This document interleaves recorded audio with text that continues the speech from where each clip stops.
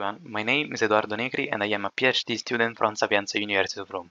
This video briefly introduces our latest publication on Transactions on antennas and propagation, which deals with the leaky wave analysis of innovative resonant Bessel beam launchers used in a wireless power transfer scenario.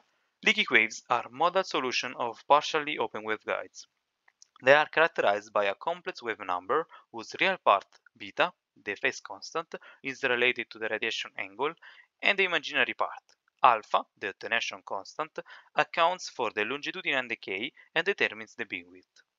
While the modal field in 1D leaky wave antennas can be represented through a linear superposition of exponentials, in 2D leaky wave antennas it is given by outward and inward Hankel functions. As the superposition of exponential envelopes with the same amplitude generates sinusoidal functions, an inward and an outward cylindrical wave give us a Bessel distribution. Indeed, Bessel beams are a focusing solution of Helmholtz equation given by a spectral superposition of plane waves with wave numbers lying on the surface of a cone.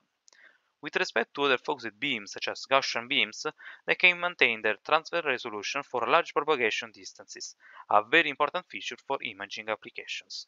In addition, their self-healing property is of crucial importance in point-to-point -point communications to allow for non-line of sight operation. In brief, Bessel beams are nowadays of great interest for the antennas and propagation community. An effective way to generate Bessel beam at millimeter wave is by exciting a cylindrical metallic cavity, whose top metallic plate is replaced by a partially reflecting sheet to allow for radiation. Such structures are commonly known as resonant Bessel beam launchers and mainly exist in two types, TM and TE polarized. Regardless the polarization, the operating principle is the same. A dipole-like source generates an outward cylindrical leaky wave, which is reflected on the circular metallic rim, giving the desired inward propagation. At this point, having the needed components, it is possible to generate the Bessel beam distribution by enforcing a constructive interference of them through amplitude and phase conditions. One of the key points of this work is the rigorous analysis of the radiating performance of Bessel beam launchers with hybrid TE and TM polarization character. This operating condition is typical at sub-millimeter frequencies where purely TE or TM sources are hard to find, and conversely, Bessel launchers can be more easily excited through a quasi-resonant slot, which represents an horizontal magnetic dipole. The theoretical description of this innovative structure deals with the excitation of both TM and TE Leaky waves and the evaluation of their different excitation coefficients. The latter are rigorously evaluated with closed-form expressions obtained from a residue analysis of the relevant Green's function of the structure. With this expression at hand, it is possible to design a hybrid polarized beam launcher to resonate at a given frequency with the TE or the TM leaky mode, as well as in non-resonant condition. In each case, an impressive agreement has been achieved among full-wave and theoretical results.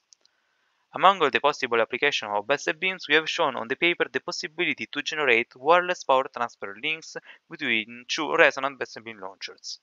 They operate in the radiative near field region, showing better performance with respect to reactive and far field links in terms of working distance and efficiency, respectively.